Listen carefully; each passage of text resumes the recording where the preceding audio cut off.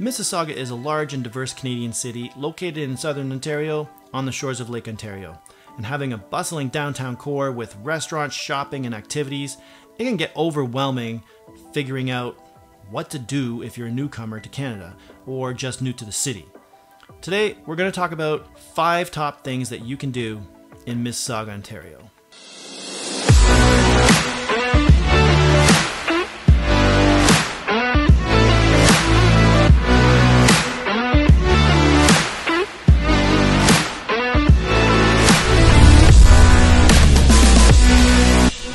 Everyone, welcome to my channel. My name is Aaron Putman, your South Mississauga real estate agent. And if you want to learn everything about what it's like to work, sleep, live, and play in Mississauga, then make sure you tap that subscribe button and click the bell so you'll be notified each and every time that I post a new video.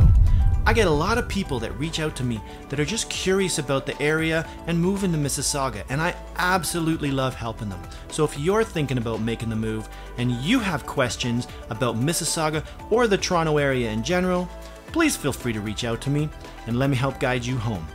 DM, text, email, call, comment, because I have your back when moving to Mississauga.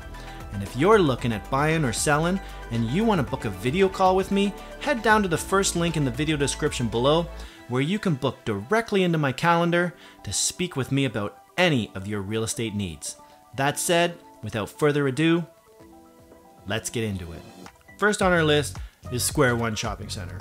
Square One is the largest mall in Ontario and the second largest mall in Canada, with over 2.2 million square feet and more than 360 stores has a wide variety of restaurants and entertainment options as well, and this mall serves, on average, 24 million people a year.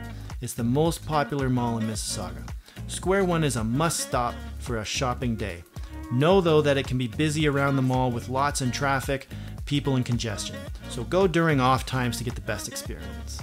Next, we have Port Credit Village.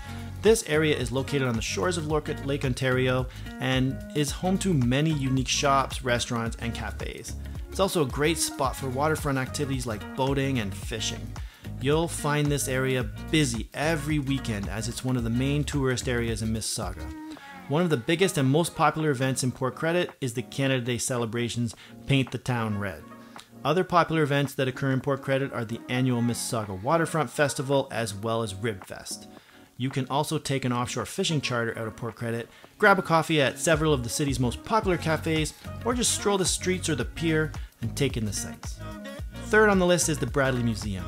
This historic site is home to a collection of 19th century buildings and artifacts that tell the story of the area's early settlers.